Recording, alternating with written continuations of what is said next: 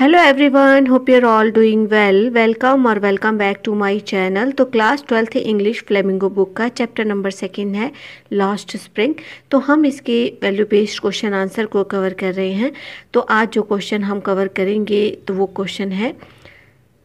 for most women bangles are dreams in class but for bangles maker of Firozabad they are a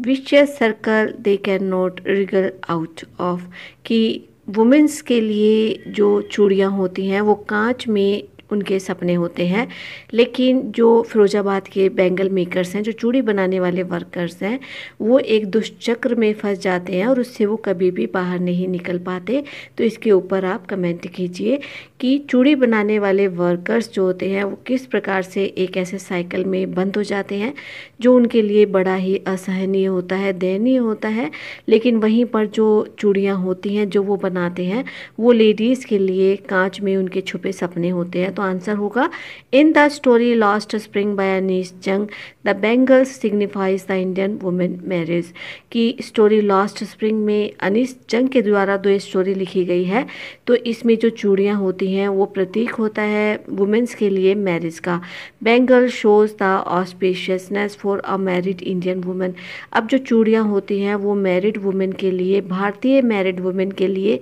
शुभता का प्रतीक मानी जाती हैं, क्योंकि चूड़ियाँ जो हैं, उनके सुहाग की निशानी होती है और लेडीज़ जो हैं, इनको अक्सर अपने कलाइयों में धारण करती हैं। We can see that red coloured bangles are worn by women on her race in their marriage और हम अक्सर ये देख सकते हैं कि लाल रंग की जो चूड़ियाँ हैं, वो लेडीज़ के द्वारा पहनी जाती हैं अपनी कलाइयों में, अपनी मैरिज के समय में। Bangles are traditional pieces of jewellery that are worn by the rest of women of all ages in India अब जो चूड़ियाँ हैं, वो एक परंपरागत गहना है। गहनों में ही आता है जो कि कलाइयों पर डाली जाती है। वुमेंस जो होती हैं, वो अपनी कलाइयों में इसको पहनती हैं, चाहे भारत में उनकी एज कोई भी हो। तो इंडिया में हर एज की वुमेंस जो है, चूड़ियाँ पहनती हैं and are believed to bring good fortune and wealth क्योंकि वो विश्वास करती हैं कि जो चूड़ियाँ हैं, उनके लिए सौभाग्य लेकर आएँगी, उनके लिए धन धान्य लेकर आएँगी। But on the other hand the author shows her worry over the exploitations of these bangle makers लेकिन दूसरी तरफ़ जो ऑथर हैं, वो चिंता भी जताता है क्योंकि जो बैंगल मेकर्स हैं वर्कर्स हैं, उनका बहुत ज़्यादा शोषण किया जाता है। तो इसी वजह से वो इस बारे में अपनी चिंता को भी दिखाता है इन वर्कर्स के लिए। All bangle makers work under aberrant and unpleasant condition जितने भी बेंगल मेकर्स हैं तो वो बहुत ही ज़्यादा दयनीय और अच्छे कंडीशंस में नहीं काम करते। The childhood of children who work in this field is lost due to extreme poverty hard labour and poor working conditions अब जो बच्चे हैं, वो अक्सर जो इस फ़ील्ड में काम करते हैं, जो चूड़ियाँ बनाने का काम करते हैं तो वो बहुत ज़्यादा भीषण गरीबी की वजह से, कठिन मेहनत की वजह से और उसके साथ साथ अपने पुअर वर्किंग कंडीशंस की वजह से अपने बचपने को खो देते हैं। Children in particulars are at risk of losing their eyesight at a young age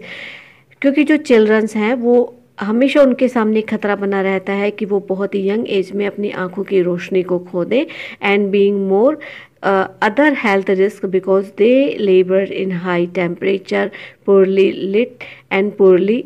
ventilated glass furnaces क्योंकि वो जो काम करते हैं तो उनको ना सिर्फ़ अपने आईसाइट खोने का खतरा रहता है, बल्कि उनके सामने और भी बहुत सारी हेल्थ प्रॉब्लम्स आ जाती हैं, क्योंकि एक तो वो बहुत हाई टेम्परेचर में काम करते हैं, जहाँ पर कि जो ग्लास फर्नेसेस होते हैं, जो भट्टियाँ, गांस ग्लास पिघलाने के लिए, कांच पिघलाने के लिए जलाई जाती हैं तो एक तो उसमें से बहुत ही ज़्यादा दूषित पॉल्यूशन वाला धुआँ निकलता है, हवा निकलती है, जिसको कि उन्हें अपने लंग्स के थ्रू अपने बॉडी में लेना पड़ता है। तो इन सारी चीज़ों की वजह से उनको और भी बहुत सारी प्रॉब्लम्स हेल्थ प्रॉब्लम्स का सामना करना पड़ता है। They are force to perform their jobs under these cruel circumstances और इन सारी क्रूअल सर्कमस्टांसिस के बीच में उनको अपनी जॉब को करना पड़ता है। Their goals and dreams are killed by their mindless labour अब जो वो दिमागी रूप से जो ये श्रम करते हैं तो उसकी वजह से उनकी जो लक्ष्य होते हैं, उनके जो सपने होते हैं, उनको मार दिया जाता है। They are doomed to a life of poverty and unending exploitations where they must live and die in misery अब इनकी जो लाइफ है, गरीबी में घिरी हुई है और इनके साथ एक अनएंडिंग शोषण चलता है, जिसका कि शायद कभी भी अंत नहीं होगा, जहाँ पर कि इन्हें जीना पड़ेगा और उन्हें यहीं पर मरने के लिए छोड़ दिया जाता है। तो इस प्रकार से जो ये चूड़ी बनाने वाले वर्कर होते हैं, इन्हें बहुत ही अनप्लीजेंट कंडीशंस में रहकर काम करना पड़ता है और इतना सब होने के बावजूद इनके पास जीने के लायक कोई भी अच्छी चीज़ नहीं होती कि जिनके सहारे ये जी सके।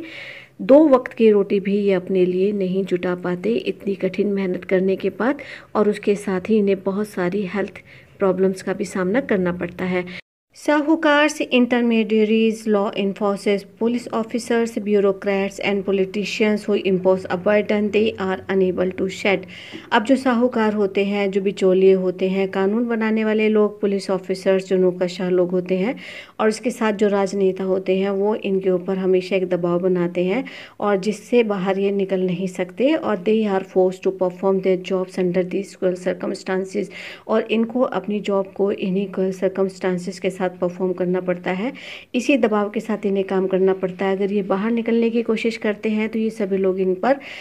एक अत्याचार करते हैं और इनको जेल में डाल देते हैं। So we see a contrast in the lives of those who use these bangles and those who make them और इसी वजह से हम एक क्लियर कंट्रास्ट देख सकते हैं, एक अंतर देख सकते हैं उन लोगों की ज़िंदगी में जो इसे पहनते हैं और उन लोगों की ज़िंदगी में जो इसे बनाते हैं।